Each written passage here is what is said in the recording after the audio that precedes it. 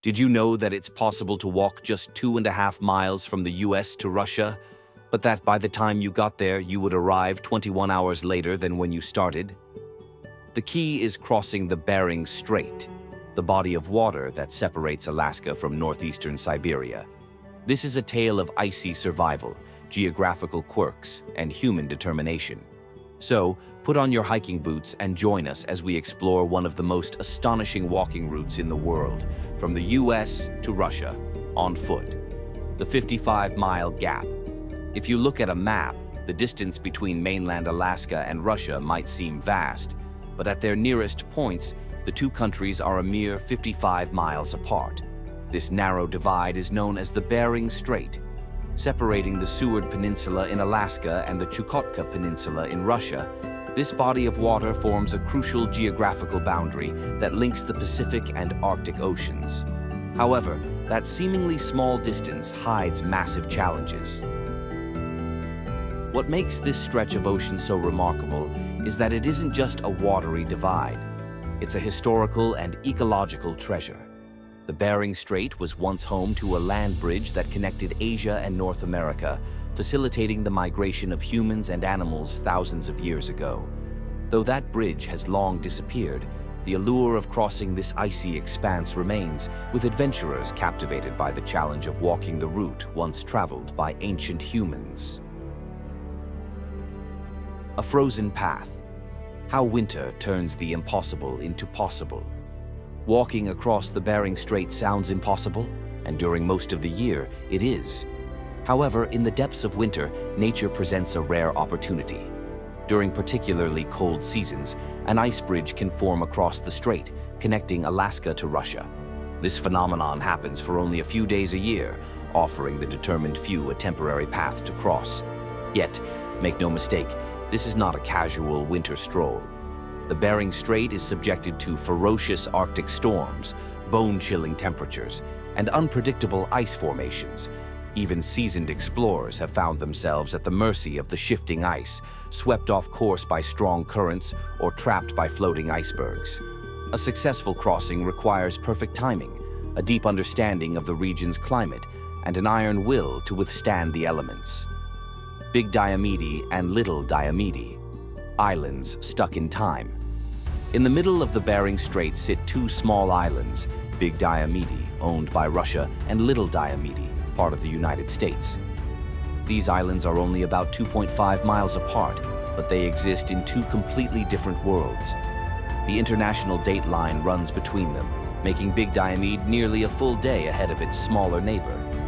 Locally, they are often called Tomorrow Island and Yesterday Island because of this unique quirk.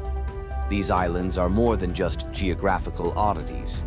For anyone attempting the journey on foot, they serve as potential rest stops.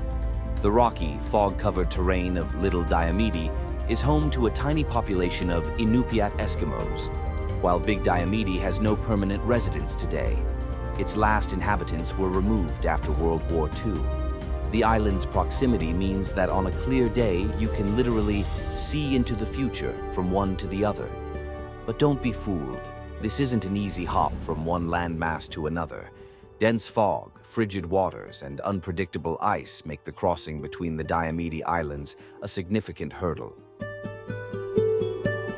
The dangers of crossing, weather, wildlife, and the unforgiving ice. Even for the most prepared explorer, the challenges of crossing the Bering Strait are extreme. For starters, the weather in this region is notoriously unforgiving. Temperatures regularly plummet below freezing, and high winds reaching 60 to 70 miles per hour can make the simplest task nearly impossible. The ice itself is treacherous, prone to cracking, shifting, melting without warning. Anyone venturing onto it faces the risk of falling into freezing waters. But it's not just the ice and weather that present dangers. The wildlife in this region is equally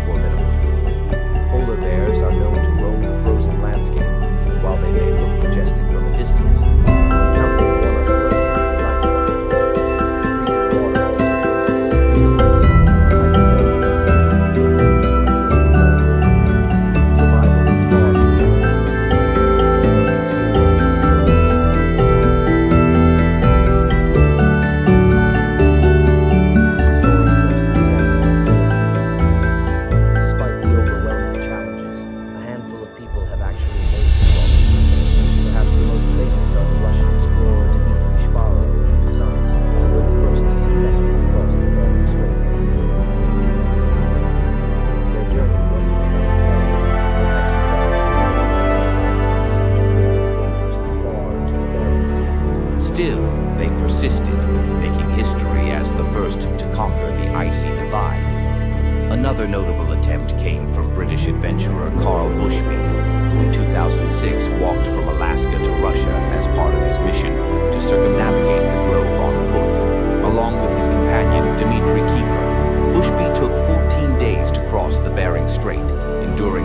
weather conditions and dodging Russian authorities, only to be detained and deported upon arrival in Russia. For every successful attempt, however, there are countless stories of failure. Explorers have been lost to the harsh conditions, their bodies never found. It's a stark reminder that, while walking from Alaska to Russia is technically possible, it is far from safe or easy. A journey without risks. Walking from the US to Russia may sound like the ultimate adventure, but it's a feat that only the most determined and prepared explorers have ever achieved. The combination of extreme weather, dangerous wildlife, and political tensions makes this one of the most